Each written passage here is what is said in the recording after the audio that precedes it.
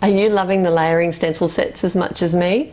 Today I have the Hill Blossoms layering stencil set from Altenew and it is just that, has lots of beautiful blossoms and leaves and it's kind of a trailing image. You'll see it in a minute.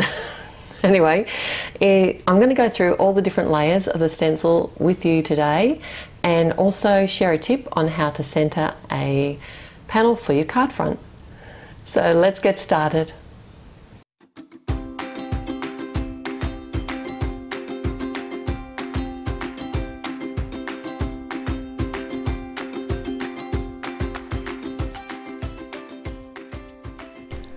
Hi there, it's Therese and Lost in Paper, and this stencil is gorgeous as you can see. It's a two piece stencil. On the packaging, you can find what the finished image is going to be looking like, but also the layering guide. You can find the layering guide at Altenew as well if you go into the actual product itself, and often there'll be a video explaining it as well, but I thought I'd go through it with you here today.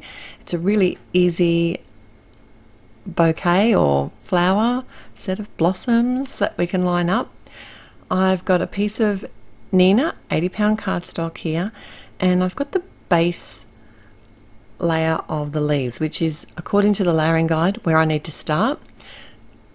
On the layering guide as well it will tell you whether you need to use a darker or a lighter ink but basically basically it goes from lighter to darker.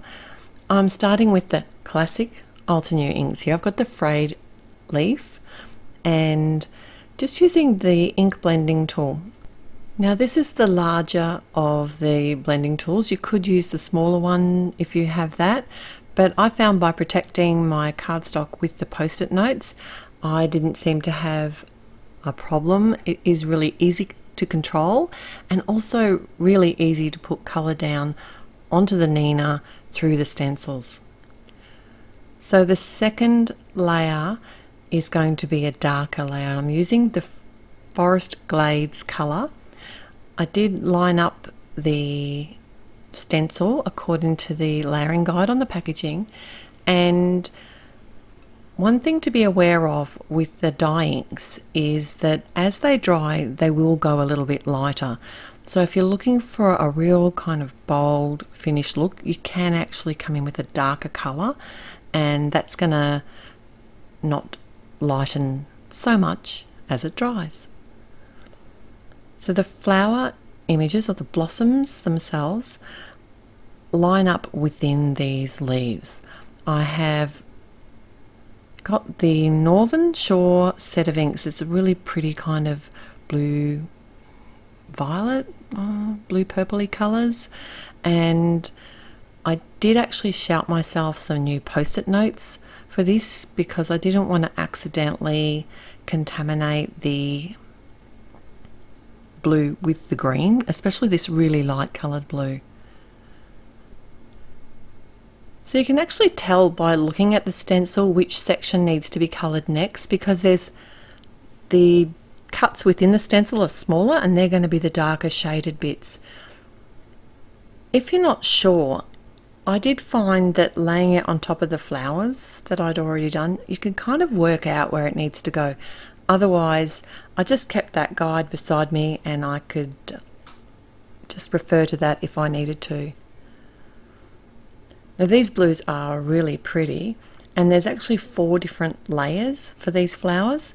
So I just kept, kept, I just kept making the colours darker until I got to the very centre of the flowers and I actually came in and added the centre of the flowers with the jet black ink. I I haven't used I don't use the jet black ink very much at all anymore because I either use the permanent black ink or the obsidian which I could have certainly used either of those but for some reason I grabbed the jet black today. It is a really nice dark black ink though. And now for the final reveal.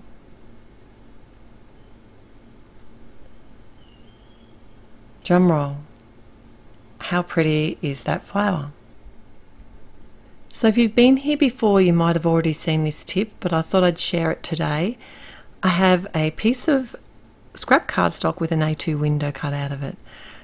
It may have looked like I just stamped my image in the middle of nowhere, but this just gives me lots of options to work out exactly how I want this to be on my card or the placement. And you can tell this stencil actually works so many different ways. But what I did was I did another one. so I did exactly the same stenciling again. And what I've done is I'm holding over my window of my A2 card and I've drawn pencil marks on two sides.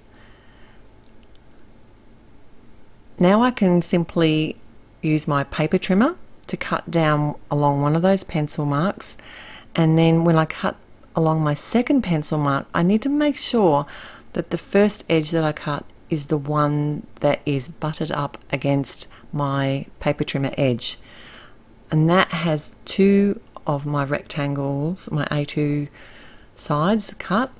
To work out the other two cuts, I simply just eyeball it by holding it over my card base and making a tick mark with my pencil.